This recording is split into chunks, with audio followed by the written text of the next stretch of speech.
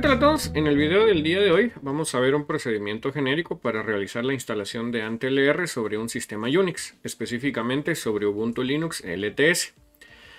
Este video es parte de una miniserie de videos en la cual yo estoy creando analizadores léxicos y sintácticos para la implementación de compiladores, pero por la popularidad y sobre todo por la relativa complejidad de AntLR, en el caso de AntLR lo voy a dividir en tres etapas este primer video en donde realizo la instalación, un segundo video donde ya creamos y exploramos la gramática más a fondo y ahí revisamos cómo crear una implementación de listener que entre otras cosas sirve para ejecutar acciones desde AntLR y un tercer video para implementar la alternativa a los listeners que son los visitors en el cual también podemos personalizar el recorrido del árbol de análisis sintáctico y la ejecución de acciones en Java. Entonces no se olviden de compartir y comenzamos. Ok, en este momento yo estoy utilizando Ubuntu LTS y como ya se imaginarán, el primer paso suele ser entonces que coloquemos una terminal. Ahora bien, debo advertirles que si ustedes realizan una búsqueda dentro de los repositorios de Ubuntu, realmente de cualquier distribución Linux, seguramente van a encontrar AntLR. AntLR es bastante importante para la generación de parsers y por lo tanto es bien común encontrarlo en los repositorios de Linux. De hecho, si ya instalaron Maven, ya instalaron Ant o alguna otra cosa, es posible que tengan instalado AntLR. Pero esta instalación siempre tiene dos detalles. Número uno, no siempre tienen la última versión. Entonces, si observamos acá, la versión disponible en Ubuntu es la 4.7.2, pero la que se encuentra en el website es la 4.10.1. Y segundo, esta versión viene destinada únicamente para crear y compilar gramáticas. Y AntLR tiene otras utilidades bastante interesantes para la ejecución de la creación de gramáticas, pero como desarrollador. Herramientas para hacer pruebas, herramientas visuales que vamos a probar en este momento. Entonces, lo primero que yo les recomiendo es que generen un directorio en el cual puedan almacenar las bibliotecas Java y también puedan almacenar un script para invocar directamente AntLR. Por ejemplo, este directorio yo lo voy a borrar. O el directorio que yo suelo utilizar siempre en sistemas Linux es el directorio opt directamente en home. Entonces lo creamos como opt. Y dentro de opt, siendo esta la ruta completa, voy a crear dos directorios más. Un directorio enfocado en el almacenamiento de bibliotecas y un directorio enfocado en la almacenamiento de binarios o de scripts. ¿Con qué objetivo? Simplemente tener orden. Posteriormente de esto, entonces procedemos a descargar AntLR. AntLR la versión completa. Y ojo que tiene que ser la versión completa para que todo lo que veamos en esta primera parte del video funcione. Realmente es pequeñito, son aproximadamente 3 megas y podemos entonces almacenarlo dentro del IF. Muevo entonces desde mi directorio descargas el jar de AntLR hacia acá y vemos que en el directorio home opt ya se encuentra AntLR 410. Recuerden esta ruta que nos va a servir. Durante el video entonces ustedes van a ver que yo utilizo el comando pushd, que recuerden qué directorio me encontraba acá, para volver a regresar sin tener que hacer la navegación. Y como primera tarea suele ser agregar AntLR descargado hacia la variable classpath de mi sistema lo cual puedo hacer manipulando entonces directamente en Home el archivo bash rc con su editor favorito. Yo voy a utilizar VI, pero pueden utilizar cualquier otro.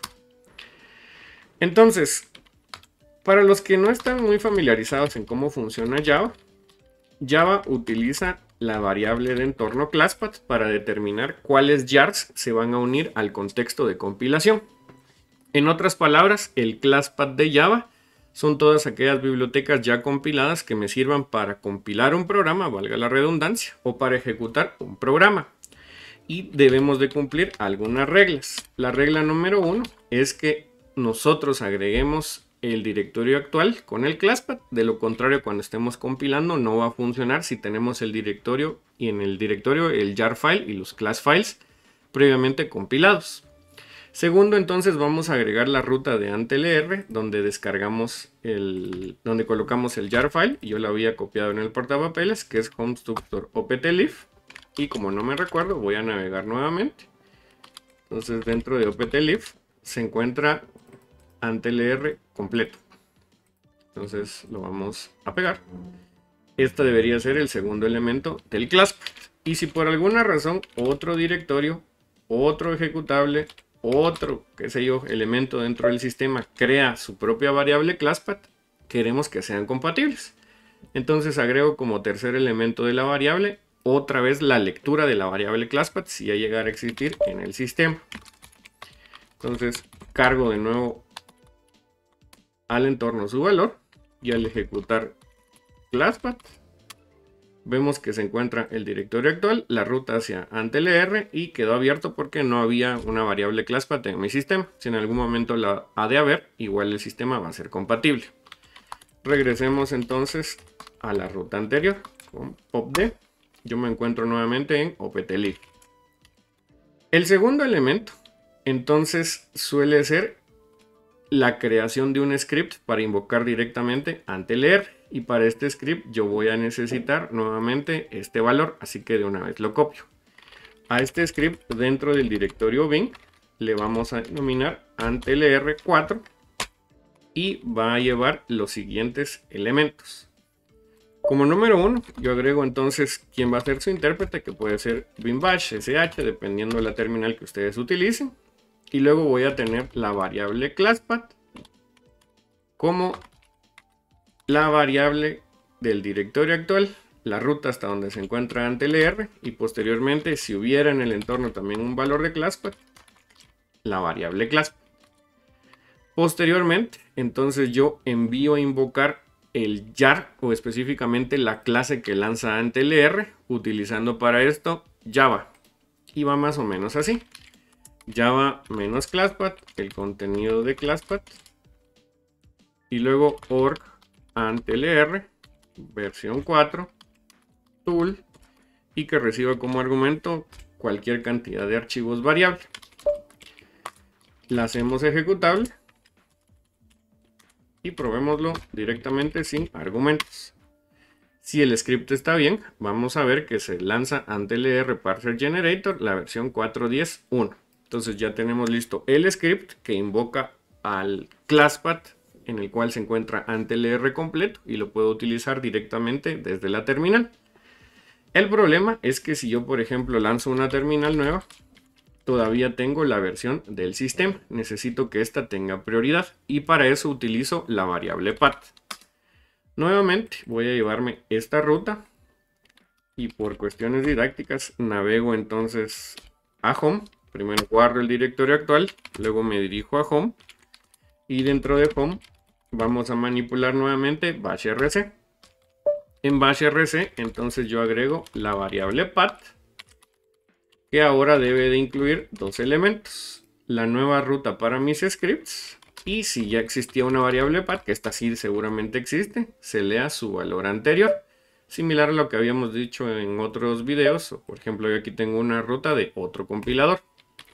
Si estoy contento entonces con el contenido, guardo actualizo el valor en el entorno.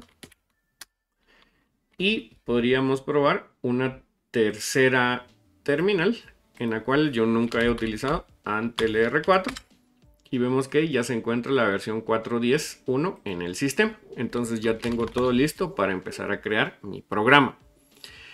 Voy a crear entonces una mini gramática que tenga dos elementos. Un reconocimiento de token simple con identificador una secuencia de tokens como que uno esté a la derecha de otro y que veamos en funcionamiento como AntLR puede utilizarse para generar una gramática. Entonces para esto voy a crear un directorio de trabajo, le denominamos AntLR demo y dentro de AntLR demo voy a crear una gramática.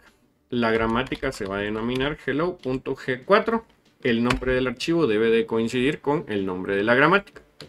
Por lo tanto yo agrego el nombre denominada hello y voy a agregar entonces algunas reglas.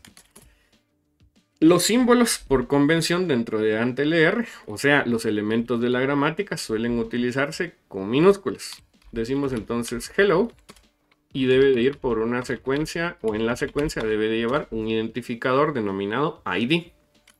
Luego de esto tenemos ID el cual debe de ser reconocido como una secuencia desde la A a la Z en letras minúsculas. Y podríamos tener también un identificador de espacios en blanco para descartarlos, recordándoles que suelen ser espacio en blanco, tabulador, carry as return, nueva línea, y de momento no hacemos nada más que decir, esto puede aparecer una o más veces y simplemente nos lo saltamos.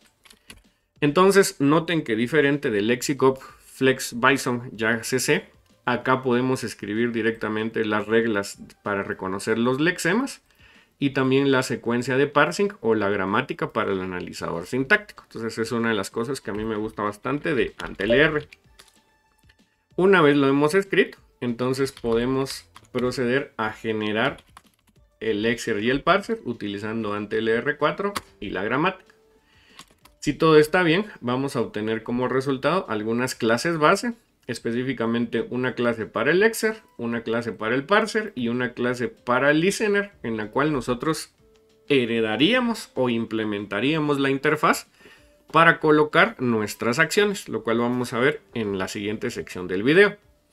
Si todo está bien y el classpath también es correcto, entonces puedo proceder con java c asterisco.yao se reconocieron todas las clases y vemos que se generó el archivo .class, lo que significa que mi parser ya es compilable.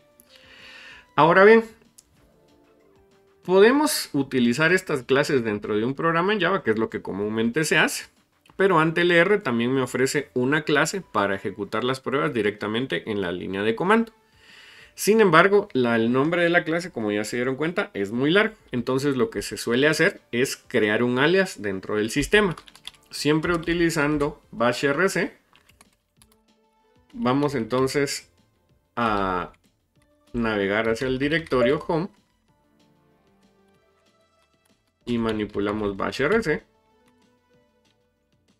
Y luego de nuestros export voy a agregar un alias. La convención suele ser que este alias sea grammar run o grun que va de la siguiente forma. Digo que Java va a ejecutar la clase or antlr v4 runtime miscellaneous test rig. La actualizo en el sistema y para comprobar si es funcional regreso al directorio donde ya se encuentra mi gramática. Les recuerdo que aquí está todo compilado y vamos a proceder entonces con grun hello, que es el nombre de la gramática, y que en este momento trabaje en modo tokens. Entonces, en modo tokens yo puedo colocar cualquier cosa. Por ejemplo, Juan, Paco, Pedro, de la. Y de acuerdo a la especificación de la gramática, yo ni reconozco mayúsculas, ni debería de llevar una secuencia infinita de lexemas. Si lo ejecuto de esta forma, presiono control D, presiono enter y luego control D, vemos que son puros errores léxicos que no se reconoce el lexema. Si por el contrario, yo lo vuelvo a ejecutar, pero esta vez utilizo, por ejemplo, Hello World, presiono control D, vemos que aquí se reconoció Hello como un símbolo, porque no tiene un lexema en particular, World como parte de los lexemas especificados como ID, y end on file, lo que significa que el archivo, o en este caso la entrada que yo hice de tokens, es legal para la gramática y puedo proseguir. Si yo quiero una representación un poco más formal, entonces en lugar de emitir los tokens con grun, yo puedo emitir el árbol de análisis sintáctico. Este técnicamente todavía no es el AST, sino el árbol de parsing, el cual se puede modificar a mano para hacer un AST. Generamos entonces hello R3. Yo digo que quiero reconocer hello mundo. Control D. Y vemos que se reconoció la raíz que yo efectivamente había colocado dentro de la gramática.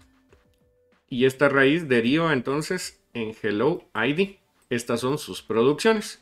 Con lo cual me dice la cadena se aceptó, se generó el siguiente árbol de análisis sintáctico y todo pareciera estar bien. Dependiendo cuál sea el objetivo con el cual estén creando las gramáticas, existe un tercer modo que es el modo visual. Yo podría colocar hello mi mundo. Presiono control D.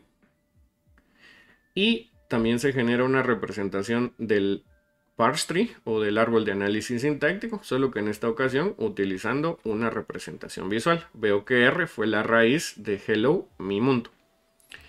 Y con esto nosotros tendríamos AntLR configurado como una parte global del sistema y podríamos proceder a crear directamente en la línea de comandos nuestros parsers o hacerlo un poco más ordenado en un proyecto en Maven, lo cual vamos a hacer en unos instantes.